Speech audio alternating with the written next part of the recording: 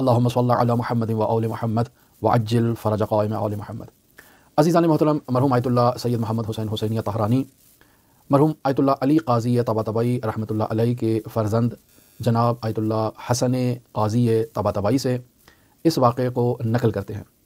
آیت اللہ حسن طبا طبائی نے اپنے والد بزرگوار کے حالات زندگی پر دو عدد کتابیں تحریر کی پہلی جلد اس میں انہوں نے اپنے والد کے حالات زندگی کو، وظائف کو، عملیات کو اور جو کچھ وہ اپنی زندگی میں انجام دیتے تھے، اسے مکتوب کیا اور تحریر کیا اور پھر ایک اور جلد تحریر کی، جس میں انہوں نے اپنے والد بزرگوار کے تمام شاگردوں کا، کہ جو نہایت ہی نامور اور گراں قدر شاگرد تھے، ان کا تعارف کروایا۔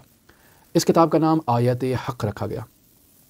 لیکن اس کتاب کو پبلش کرنے سے پہلے انہوں نے اس کا قلمی نسخہ، جو دست نوشتہ تھا، ہاتھ سے جو تحریر شدہ نسخہ تھا، وہ آیت اللہ سید محمد حسین حسینیہ تہرانی کو بطور تحفہ پیش کیا۔ آیت اللہ تہرانی، وہاں آیت اللہ علی قاضی کے اس گراں قدر فرزند آیت اللہ حسن قاضی طبع طبعی سے اس واقعے کو تحریر کرتے ہیں۔ واقعہ در حقیقت آیت اللہ قاضی کے انتقال کی رات سے متعلق ہے۔ جناب آغا حسن قاضی کہتے ہیں کہ مجھے بابا نے یہ کہا کہ مجھے قبلہ رخ بٹھا دیا جائے۔ ظاہر نحیف تھے، کمزور ہو چکے تھے، بیمار تھے۔ فرزند نے باپ سے شفقت کا اظہار کیا اور انہیں قبلہ رخ بٹھا دیا۔ مرحوم قاضی کو اپنے انتقال کے آثار کا علم تھا۔ لہٰذا وہ قرآن مجید کی تلاوت میں مصروف ہو گئے۔ اور پھر جناب حسن قاضی کہتے ہیں کہ مجھے بابا نے کہا کہ اس کمرے کی تمام کھڑکیاں اور تمام دروازے بند کر دیے جائیں۔ اور پھر ان کے اوپر ایک نہایت ہی زخیم اور موٹا پردہ آویزاں کر دیا جائے تاکہ کوئی اندر جھانک نہ سکے۔ اور بطور معمول بابا کی ایسی عادت نہیں ہوا کرتی تھی کہ وہ اس طرح سے کمرے کے دروازے اور کھڑکیاں بند کروا کر پھر اس کے اوپر پردہ آویزاں کروائیں اور لٹکا دیں۔ یہ ان کی عادت نہیں تھی۔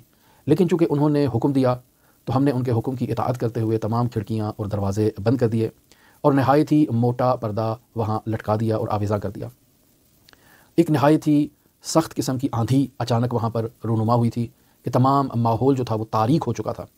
تو جب تمام کھڑکیاں دروازے بند کر دیے گئے، پردہ لٹکا دیا گیا، تو کسی نے کمرے میں چراغ روشن کر دیا۔ سخت ناراض ہوئے۔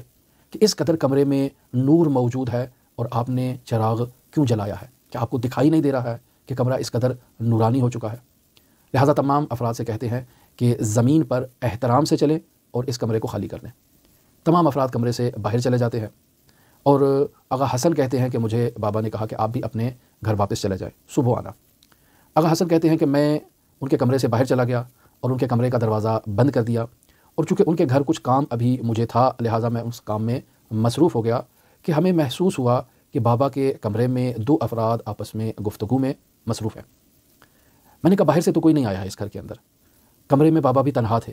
کون ہو سکتا ہے کہ جس کی آواز کمرے سے سنائی دے رہی ہے اور دو افراد وہاں گفتگو کر رہے ہیں؟ لہٰذا قریب گیا، معلوم ہوا کہ آواز مردانہ ہے، زنانہ آواز نہیں ہے۔ یعنی کوئی مرد اس کمرے میں بابا کے ساتھ گفتگو کر رہا ہے۔